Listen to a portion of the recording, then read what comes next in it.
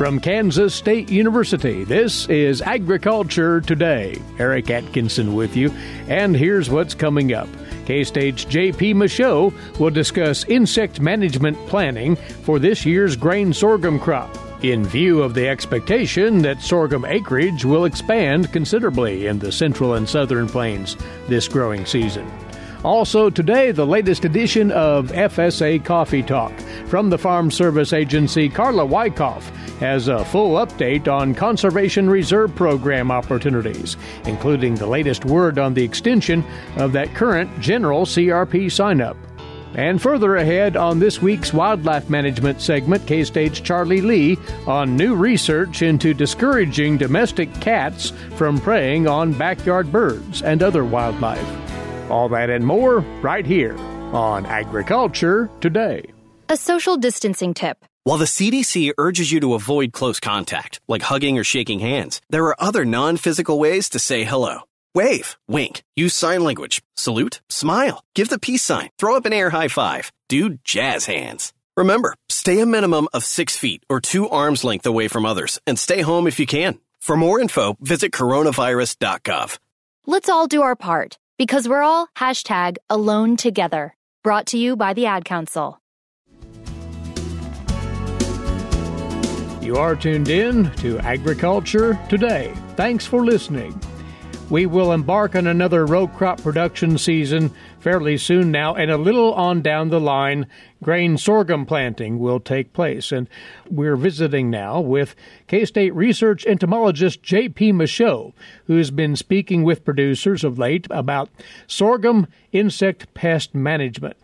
JP, not unlike with other crops that we grow in Kansas, we have quite an array of insects that can be problematic in grain sorghum here. Um, yes, and in fact, some of the ones that were previously not so much of a problem out here or up this far north are in fact uh, expanding their range of late. So that's a concern.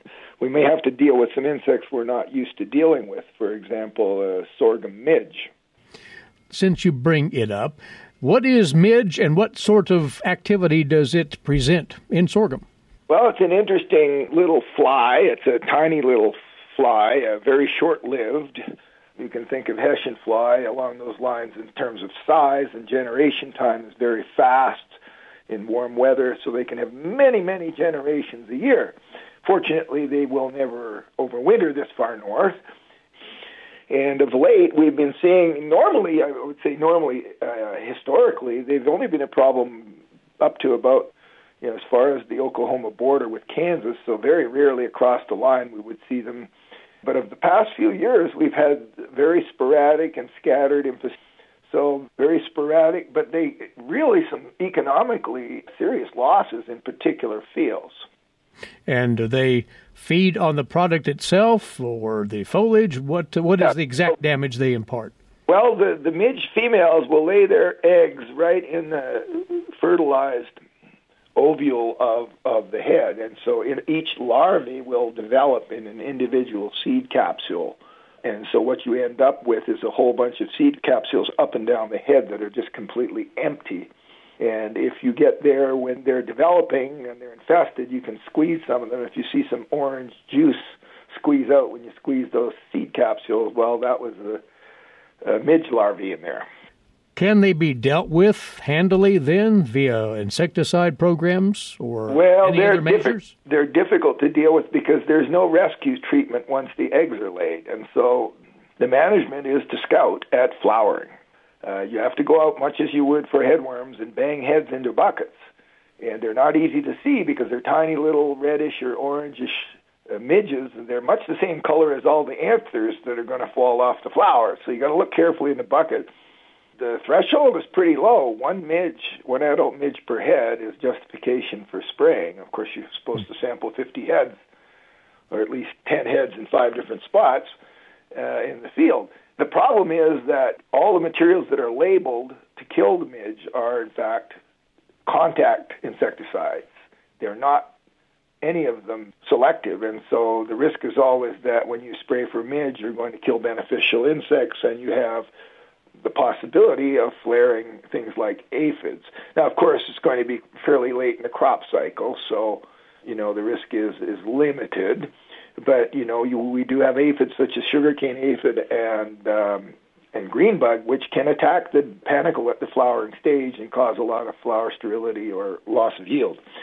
My concern really is that this is going to be such a sporadic problem, and you know both from year to year and from field to field that you know people are not going to feel it worthwhile to go out and sample for it and then you know the occasionally you're going to have a nasty surprise where mm. you mm-hmm. lose a whole bunch of yield and you never saw it coming the notion here is be aware of the possibility of this midge turning up and if you're going to sample and treat that has to happen very early in the going oh absolutely you have to get out there at anthesis at the beginning of anthesis and and bang heads into a white bucket and look for those tiny little midges they can do a tremendous amount of damage now there are some resistant varieties that actually are resistant in different levels, you know, different traits, resistance to oviposition, so they deter the midges from laying eggs, but also resistance to larval development. But in these resistant varieties, where they're used, you can actually raise your treatment threshold to up to five midges per head. The problem is, I, I really don't know, and this would be a question for the seed suppliers if any of those varieties would be maturity groups suitable for our our growing region. Uh, I suspect not. So perhaps uh, one of our breeding priorities going forward, if this becomes more of a problem, will be to get midge resistance traits into some of our local varieties. A couple of more, well, let's call them customary insect pests in sorghum, want to mention them. And one would be the chinch bug. What's the latest on its likely activity? Well, we're getting more and more damage out further and further west in this through central uh, and even up north central Kansas. This has been getting sort of progressively more evident over the past five or six years, and even in the past two years, we've seen and mostly second generation damage. But in the past two years, there's been some serious damage from first generation chinch bugs, the ones that move out of the wheat into the sorghum adjacent to it. Well, the plants are still seedlings.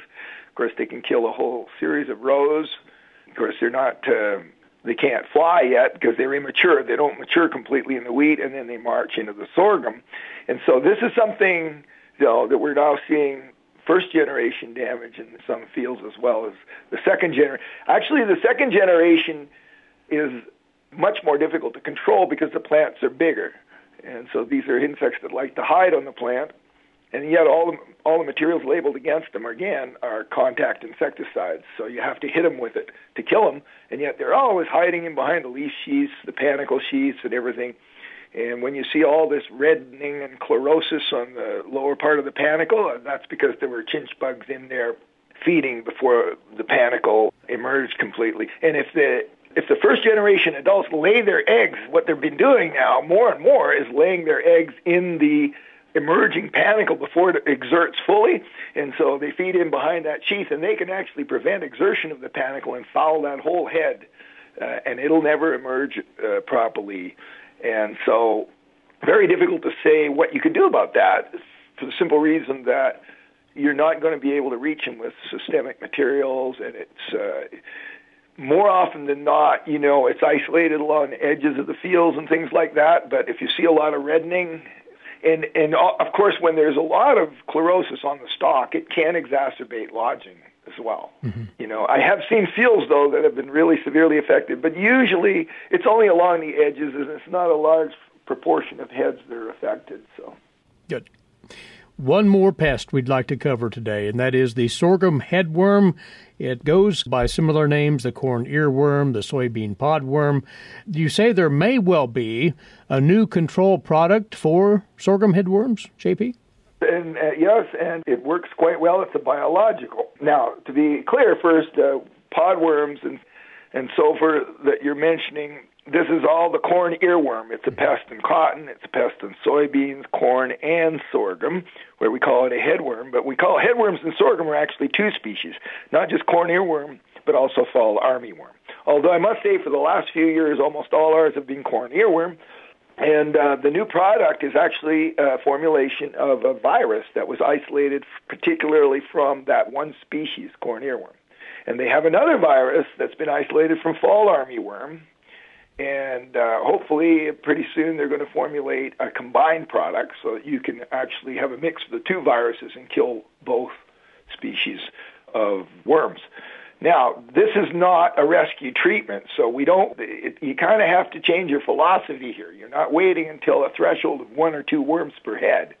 You've got to get out there and make a decision really early.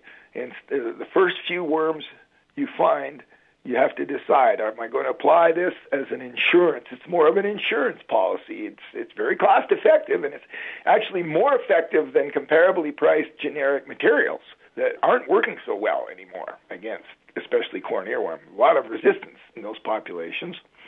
So what you're doing is you're seeding your field with a disease, and once you do that, the, the disease will self-propagate. That's why you have to get it out there early. So the first ones that get infected die with billions of little virus particles, and so the other insects that walk over that will help passively or actively vector it through the field. And we've even found uh, in our control plots that those insects are capable of moving the disease from one field to another. We can find disease larvae in the neighboring field where we didn't apply it. It's really uh, a good product, very selective, so you're not going to disrupt biological control of your other pests. And, and this product is registered also for use on soybeans. Well, producers, we've offered an assortment of things for you to think about in advance of the grain sorghum production season in as far as insect management goes. Uh, K State, of course, has accumulated a great deal of information on these pests and uh, how to deal with them. So, reference that and uh, our uh, entomology team here at K State as well, including JP, for further input as you get into that growing season. JP, thanks for the quick overview of all of this. We appreciate it, and we'll talk again soon. My pleasure as always, Eric. That's JP Michaud, research entomologist for K State. JP is based at the university's Agricultural Research Center at Hays. And we'll return with more on Agriculture Today.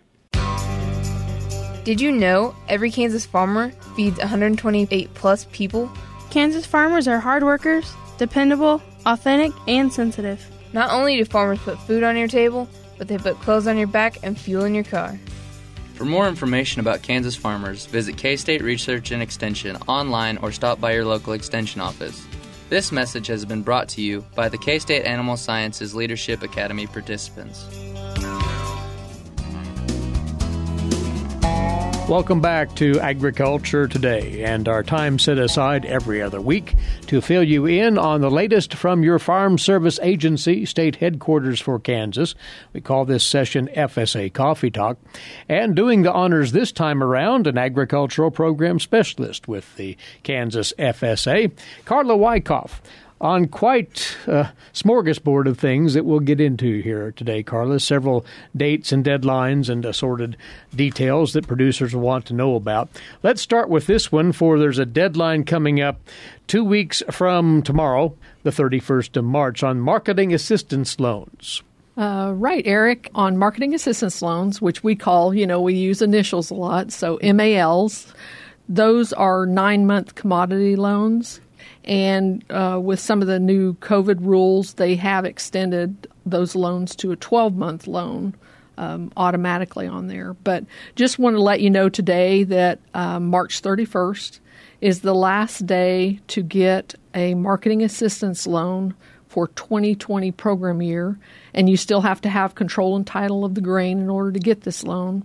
But you have till March 31st to get a 2020 program year loan on wheat, barley, oats, and canola.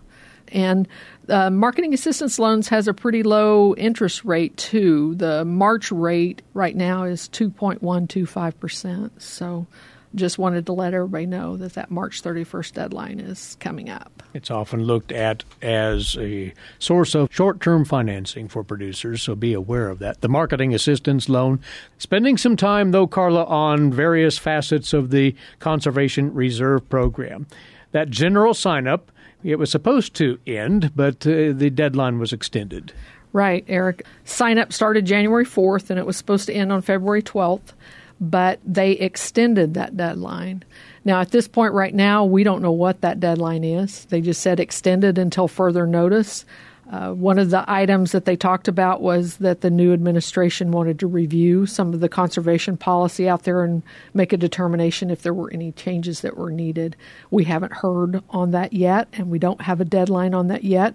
But county offices are continuing to take general CRP offers for anybody that's interested in going into that program. They can contact their local FSA office and set up an appointment to sign up in that program. So we haven't stopped taking the offers. We're, we're continuing to do that, but we just don't have a deadline at this point for that program. And the general sign up this time, much as similar general CRP enrollment periods in the past, the criteria are likened to those previous, yes. right? Right now, they're, everything's the same at this point right now. It's a competitive process, general sign up. They have a period of time of taking the offers once the sign-up's over, then the national office uh, reviews all those offers in the U- in the U.S. and they set a level of the environmental benefit points that each offer receives based on cover and the type of land that they're offering. That happens after the end of sign up. They look at those those numbers and make a determination which offers will be accepted.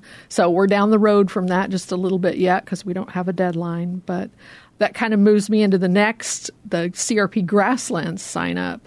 It was supposed to start on March 15th, but right now they've delayed that sign up because of the extension and the general CRP sign up. They didn't want to have both of those sign-ups going on at the same time. So the grassland CRP will occur. Yes, it will occur. Yes. They will have the CRP grassland sign up, but the start of that sign up has been delayed until after the general sign up is over. So we expect information anytime on that. Uh, of course, we like to hear on the general too here pretty soon. Another thing I kind of wanted to talk about today the CRP maintenance letters. The county offices will be sending out the annual reminder to producers of what their responsibilities for maintaining that CRP cover. So when you sign up into CRP, you're signing to maintain that cover at a certain level. So this letter is just a reminder of several different things. Each county can add some different options within that letter for things that might be going on in their county. One thing that that is in there is for maintaining that cover and removing any trees or brush that's in that CRP uh, that's on a grass cover it's a grass practice, I guess, is is what it would be. If it's a grass practice, we don't want trees growing right. up in it. So and that's the responsibility producers yes. need to routinely take care of. Right. among others, right? Right. And there's some other things in there too, like controlling the existence and spread of noxious weeds. So we just recommend that anyone that has some concerns in that area to contact the Natural Resource Conservation Service. They're in our offices with FSA and our service center. They're our technical provider for CRP, so they can help. Or you can contact your county weed department for any kind of assistance that you have uh, with any concerns with noxious weeds and also non noxious weeds. You want to control those also. Also in the spotlight, haying and grazing options for CRP, and that's likely stemming from the recent rains, notwithstanding the ongoing dryness in parts of Kansas. Carla. Right. We're fortunate to get those rains. you bet. Uh, we have several counties in Kansas, kind of along the north border and the west border, that are counties that are already eligible for emergency grazing and emergency haying. There's all kinds of different options within the emergency grazing and haying of CRP acreage. Just to give you a, a couple of the examples, don't want to go too far in the weeds for this, but emergency grazing. Uh, if it's done outside the primary nesting season, which for Kansas, that's April 15th through July 15th, they can emergency graze on all practice acreage on that CRP contract. There's no payment reduction, doesn't cost them anything if they're an emergency county, and it's on all CRP practices. Uh, one thing to note there is in the past there w- it was a very limiting factor on some of the practices that we had in Kansas were not eligible to hay or graze, and they've opened that up quite a bit. They do um, have a requirement that you can uh, graze up to 90 days during the program year. Now, that's contingent on the cover that's out there. So, you have to have a modified conservation plan in order to do haying and grazing. You also have to visit the office and make application for this. There's forms that you have to sign out, of course, and those have to be done before you can take any action out on the ground. But one thing I do want to note is this 2018 Farm Bill added within there on emergency grazing that if you were a livestock forage program county that had been approved for that, which right now all the counties that are approved for emergency are also uh, livestock forage program counties. In those cases, you can only, the eligible acreage on the contract is 50% of the normal carrying capacity. So they're limiting a little bit more on those of course, that's because there's drought conditions in that area. Also, no payment reduction. There's no payment reduction on there, and still the same requirements of it's all CRP practices, and you're limited up to those 90 days. And that 90 days is the maximum. So, based on the conditions of the specific CRP, based on the conservation plan, there may be a limiting factor there for those. Once more, applying to emergency haying and grazing, the counties that have been approved for those alternatives, roughly resting in the northern couple of tiers of counties and the western tiers of counties in Kansas. Touch base with your local FSA office to identify if you're in one of those counties, first of all, and to actually pursue the process. And Carla, we'll finish with this there is the alternative of non emergency grazing of CRP, and you might remind us of the stipulations attached to that. Okay. On non emergency grazing, actually, there's some options. So I would encourage you to visit with your local office if you're interested in hanging grazing. There's quite a few different rules along this process, and so it's hard to spell out every situation. So the very best thing you can do is visit with your county office and get the rules for what you're wanting to do and what you're eligible for. But like Eric said, the counties that are not in the emergency eligible counties, there is an option of non emergency hang and grazing. The thing about that is that there is a payment reduction a 25% payment reduction on there. And there's limiting factors on frequency within the non emergency, such as emergency grazing outside the nesting. Um, you can only do that every other year. Uh, non emergency, you get a little more time. Under the grazing, you can't exceed 120 calendar days. And you can't begin before March 1st, and you can't graze any later than November 1st. So there's some limiting factors in there. So, just some options out there that are in addition to what we've had in the past. You know, through the years, there's been different rules with hanging grazing, and so they've lightened up a few of the things. I say lightened up, you know how we are. We exchange one rule for another rule too. So, but there's more flexibility. Yeah, right, the there's point. more flexibility, definitely. Once more, it's important to get the particulars on anything we've talked about today by having a conversation with your local FSA personnel. They can sort out how any of these would apply to your situation and how you might qualify and apply. So, talk with those folks. Carla, thanks for the update on all of this. We appreciate it. Yeah, thank you on the latest FSA Coffee Talk. That's Carla Wikoff, Agricultural Program Specialist with the Farm Service Agency State Headquarters for Kansas, right here in Manhattan. We'll return with more after the break. You're listening to Agriculture Today. With the shortage of primary care physicians, especially in rural areas, health education and disease prevention are vital. K State research and extension programs address quality of life, personal development, and health behaviors across all life stages of all social economic groups.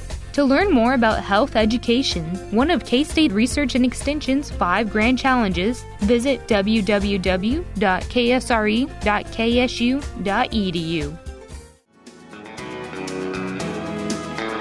You're tuned in to the K State Radio Network and Agriculture Today. Eric Atkinson here, and next up for you today's agricultural news headlines, courtesy in part of DTN.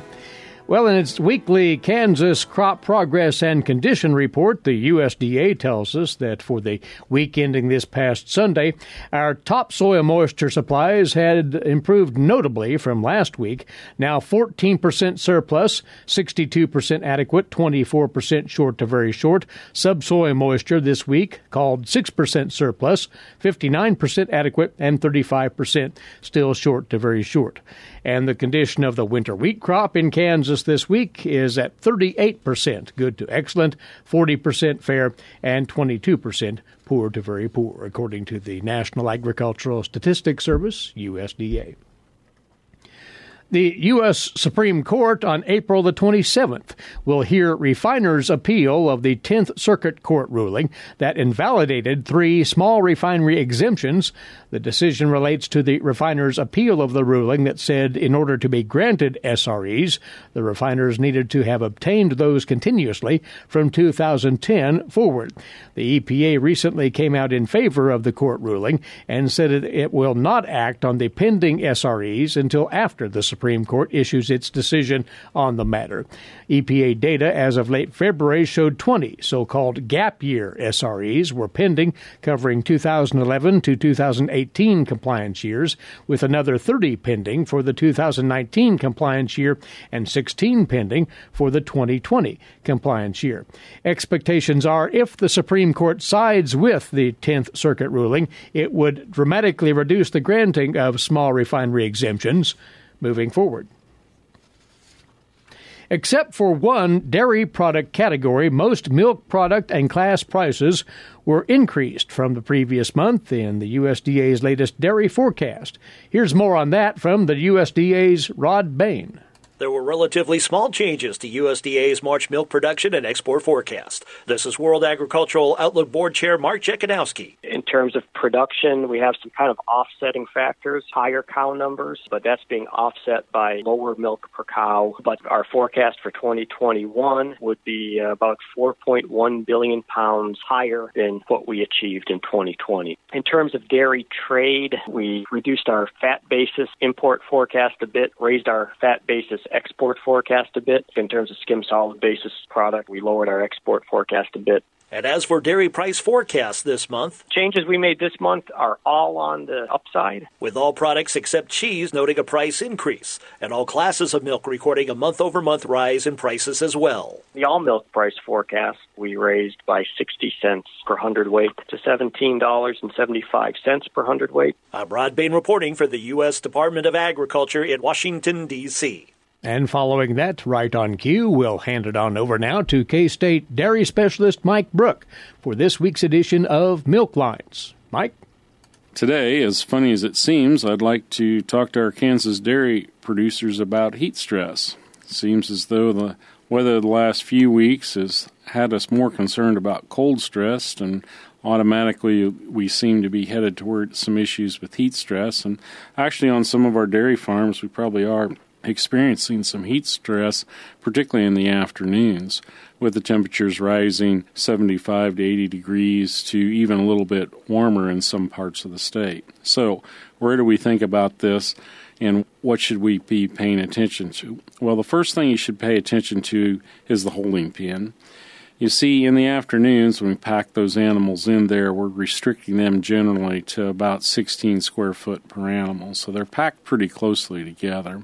And with afternoon highs running 75 to 80 degrees, depending on how long they're in that holding pen, good chance that they're starting to warm up in there, and that the actual holding pen temperatures, if you measured them, are quite a bit different than what you would maybe find outside, particularly in the area that the animal is actually spending her time. So, what do you need to do to help your herd out? Well, number one, if you have uh, sidewalls that you can open up, open those up. Yes, I understand you may still have to close them up for night as we see temperatures falling into the 30s, but in the afternoon, when we have these warmer temperatures, it's really important to get those sidewalls open. Many of you have fans in your holding pen, or if you don't, you should have. So those fans should be maintained. It's really important that we do our regular maintenance on these fans keeping in mind that when we have fans that are very dirty, it's about a 30% reduction in the amount of air that will actually flow through that fan. So it is a significant increase in energy costs for the actual airspeed that you create with that fan. Now, you need to think also about when you might want to turn those on. In the holding pin, maybe we want to turn those on at 55 degrees or maybe even 60 degrees. You need to probably turn them on at a lower temperature because the animals are more likely to experience heat stress in that area. What is the disadvantage of heat stress?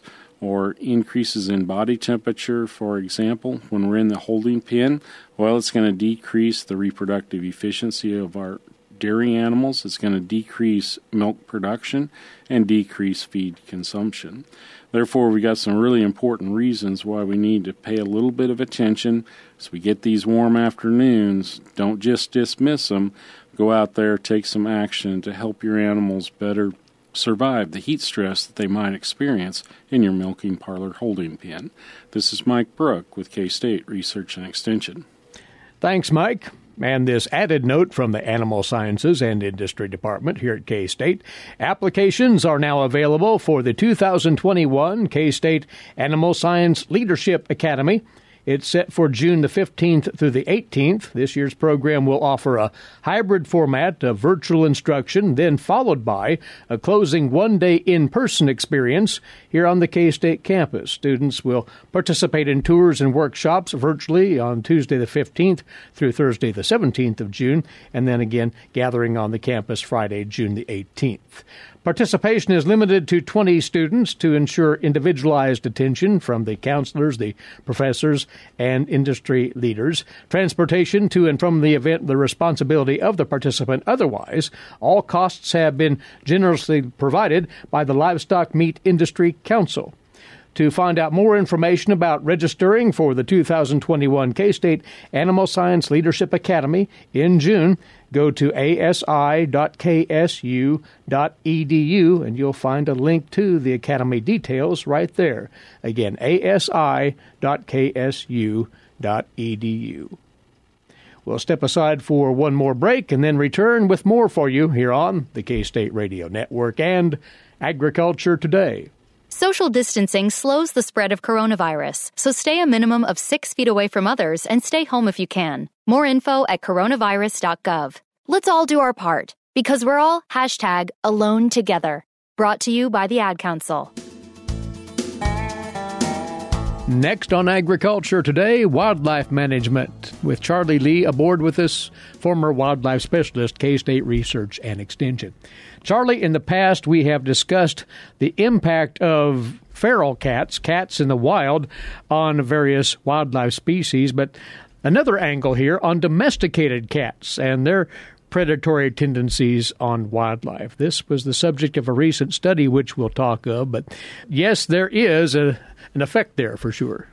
Yes, it's long been known that predation by domestic cats is a threat to biodiversity conservation. There's certainly different levels and a lot of studies that have looked at this issue. It's a very complex issue with a lot of social attitudes that play a large part in potential solutions to this issue. There's a, certainly a debate about the extent of cat predation, whether it's compensatory or additive to the natural mortality that exists when you have a domesticated animal that roams free at times. Uh, we know that there are some impacts besides the direct impacts of predation. It can also affect bird productivity. It can cause reductions in nest provisioning rates.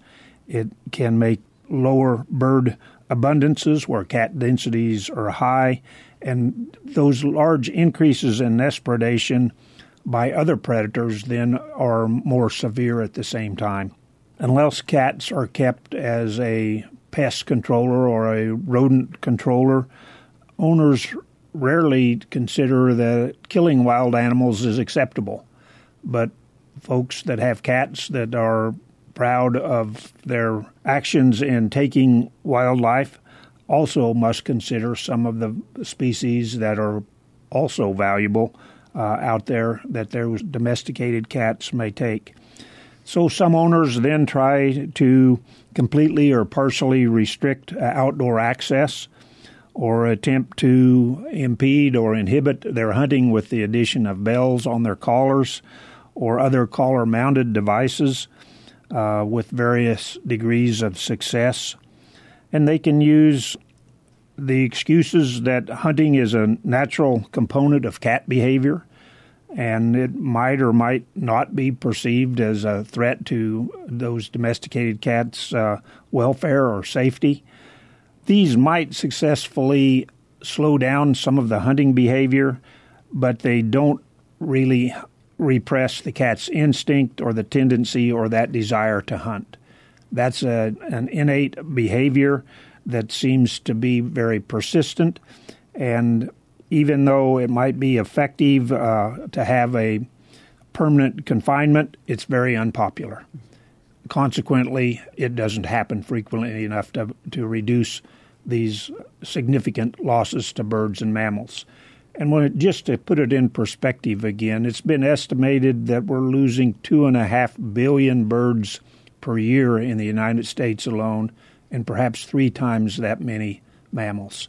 Mm. That's a tremendous amount of wildlife that's disappearing, and some are consumed by cats, some are just killed by cats, but we're also losing future reproduction with the cat killing as many animals as they do. Well, this new research highlights different mitigation strategies that hopefully will reduce that predation then?